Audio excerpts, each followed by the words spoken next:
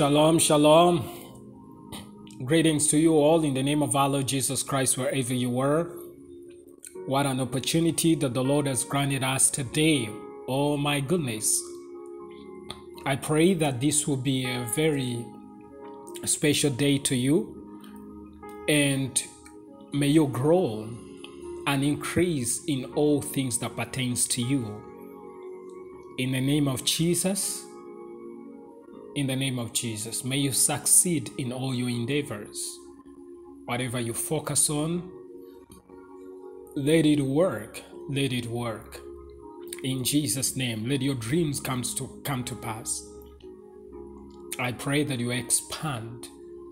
I pray that you expand in the name of Jesus.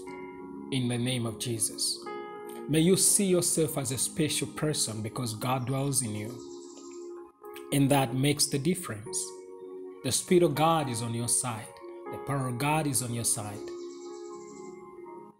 And He's there to ensure that you experience all that you have, you have received as an inheritance from your Father, God the Father. In the name of Jesus, in the name of Jesus. Now call yourself blessed right now. Call yourself blessed. Speak to your day. Decide what you want to see today and speak it out. Speak it out. Let it be so. Let it be so. In Jesus' mighty name. In Jesus' mighty name. Glory to God. You know, you can dictate what happens in your day and in your life when you align or acknowledge what God knows. When you acknowledge what God is seeing and, and, and you align your thoughts and ideas and mind with God's mind, you know, because His plan is always good to you. He doesn't have any evil plan or bad plan. He's looking at you and He knows uh, you deserve the best. Therefore, you align your mind and your soul with the Word of God, it will make you a success. And that's how it works. Glory to God. We are studying and uh, looking at this chapter 12 of First Corinthians, uh, trying to talk about the Holy Spirit and the gifts of the Spirit. And in previous teaching, we talked about the focus, and the focus is supposed to be on the gifts, the gift uh, of the gifts, not the gifts, the gift of the gifts. That's what we learned, uh, saying that we should understand that is one Spirit that gives all these gifts and that the gifts are given to us for a purpose. The verse 7 said, But the manifestation of the Spirit is given to each one, or each one for the profit of all. So the reason why the gifts are given to us, or the manifestation of the Spirit is for the profit of all. It's not a private use or selfish use. Well, this is important. This is important. We do it for others this is why it's been given to us. Verse 8 says, For to one is given the word of wisdom through the Spirit, to another the word of knowledge through the same Spirit. Notice when he mentions every gift, he again repeats the same thing that comes over and over again same spirit same spirit notice notice that's what that's the reason why i'm actually reading this chapter. I'm, my focus is not on the gifts of the spirit. I'm just highlighting talking a little bit about them but my focus is on the spirit. The many times when we are reading such verses or eh, for, for instance this chapter we don't realize that he keeps on talking about the same spirit same spirit same spirit same spirit. Therefore we should focus on the spirit because it's the giver. And and that's the issue. You cannot walk with the spirit. You cannot know the spirit. You cannot fellowship the spirit and lack those gifts. These gifts are within the ability of the spirit himself. Is the one who produces these gifts. And therefore if you have this union oneness and I get to know who he is you walk in these gifts. So i'm showing you where you should focus. Amen. Glory Verse 8, I repeat again, it says, For to one is given the word of wisdom through the Spirit. So, the word of wisdom, you have the ability to know things, you know, you, you can speak a word And that word will be like it's God Himself giving that advice. There's a certain man in the Old Testament, it's called Ahithophel. And Ahithophel was an advisor to David.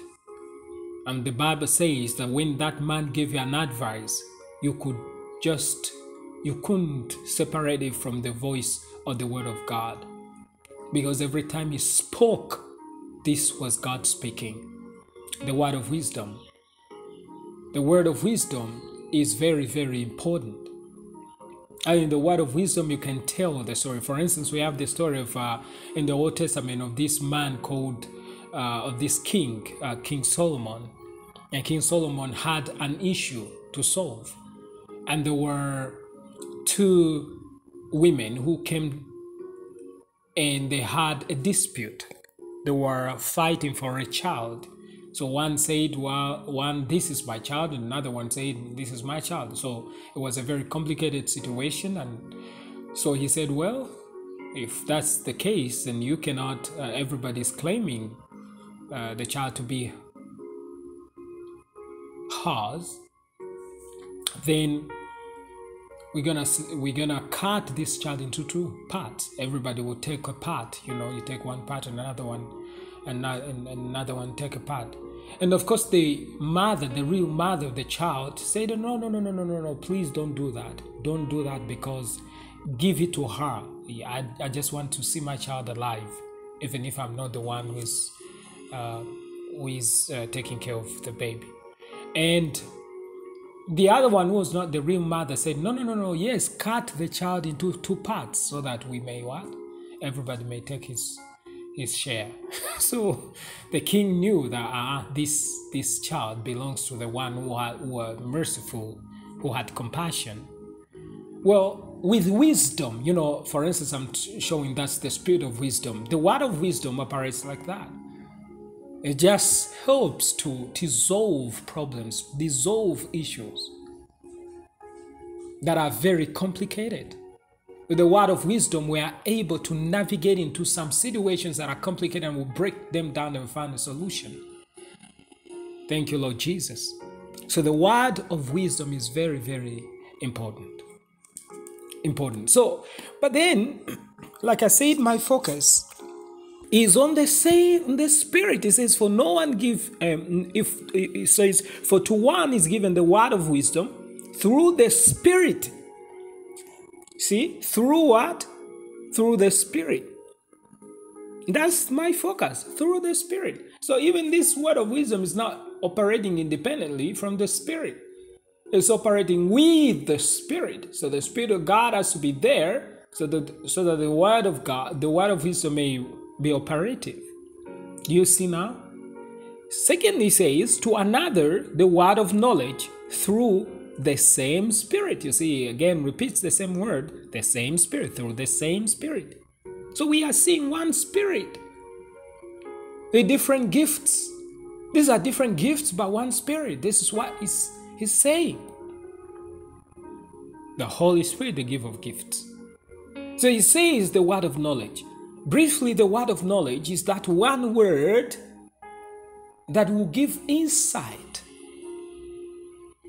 into some unknown areas of uh, somebody being in the past or present or future.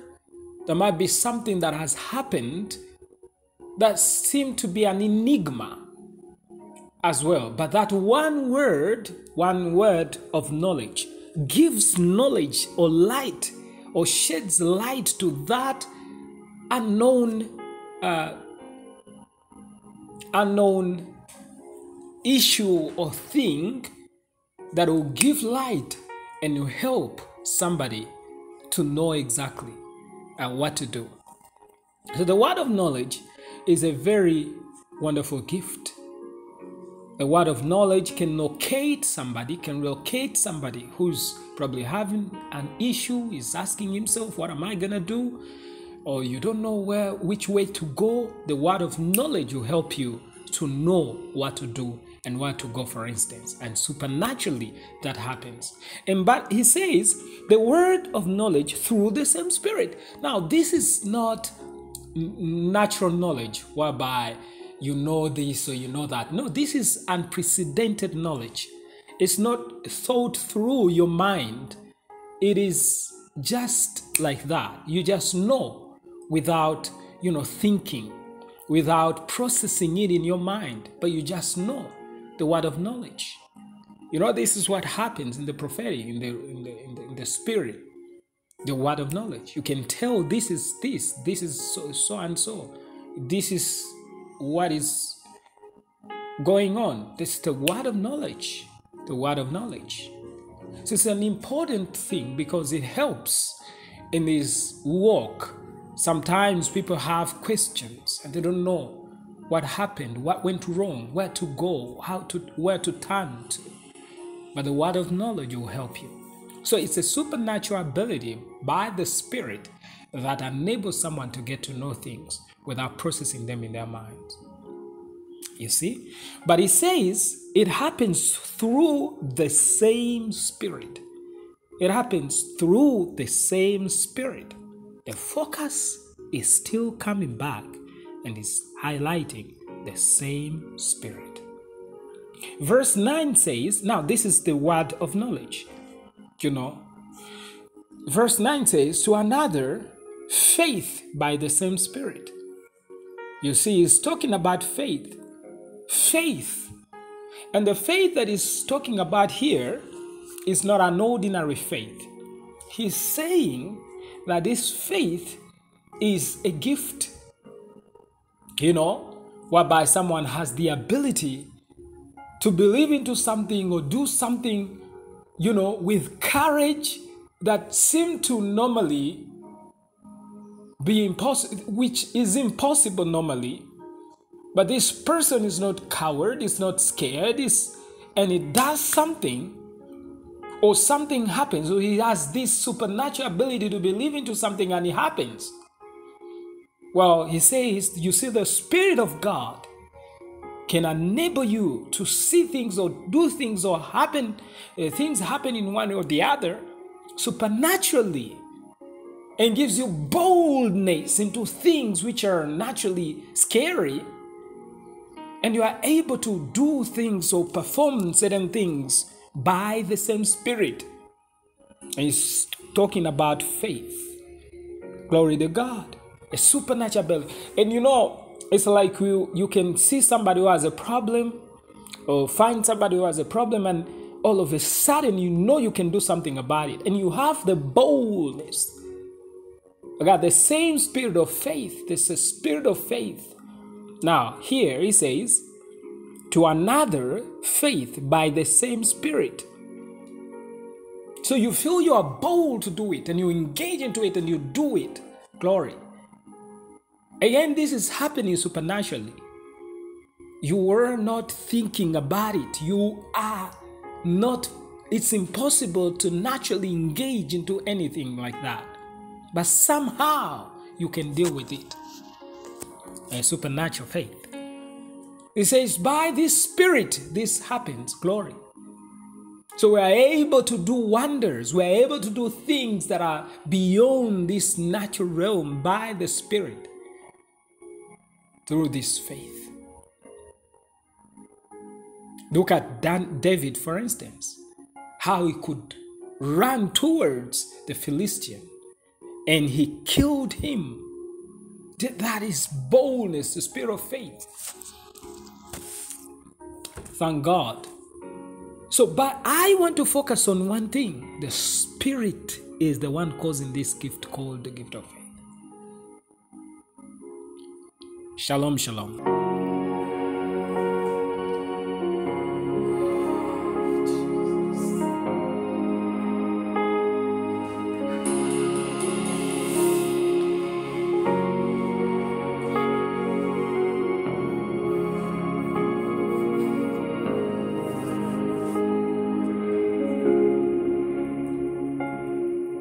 I want to remind you to subscribe on Church of Life Rwanda and also share this message with your world.